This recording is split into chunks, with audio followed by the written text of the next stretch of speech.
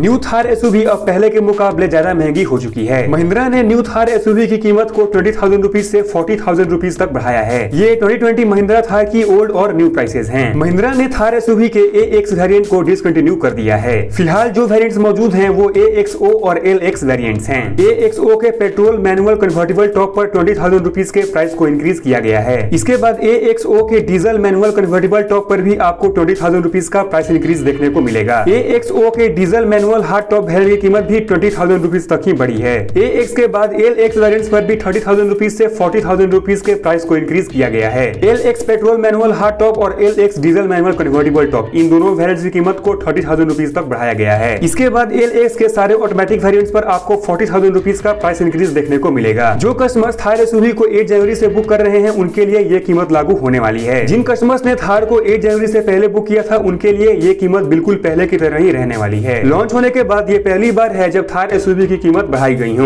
महिंद्रा ने थार एस को 9.8 लाख रुपीज में लॉन्च किया था ये एक वेरियंट बंद होने के बाद महिंद्रा थार की स्टार्टिंग प्राइस 11.90 लाख रुपीज हो गई थी अब ये कीमत बढ़ने के बाद महिंद्रा थार की starting price zero lakh rupees हो गई है महिंद्रा थार का टॉप मॉडल अब फाइव लाख रुपीज की प्राइस टैग के साथ आएगा पहले थार एस के टॉप मॉडल की कीमत फाइव लाख रुपीज थी प्राइस को इंक्रीज करने के साथ महिंद्रा ने थार के वेरियंट में किसी भी तरह का चेंज नहीं किया है थार एस को अब तक 20,000 से भी ज्यादा बुकिंग्स मिल चुकी हैं। महिंद्रा ने थार एस के प्रोडक्शन को ऑलरेडी अपने प्लांट में बढ़ा दिया है थार एस की कीमत बढ़ाने के साथ महिंद्रा ने अपने सारे मॉडल्स की कीमत को 1.9 परसेंट ऐसी बढ़ाया है तो थार एस की न्यू प्राइस के बारे में आपके क्या थॉट है ये हमें कमेंट करके जरूर बताए और दोस्तों ऐसे ऑटो अपडेट के लिए प्लीज हमारे चैनल को सब्सक्राइब करना न भूलें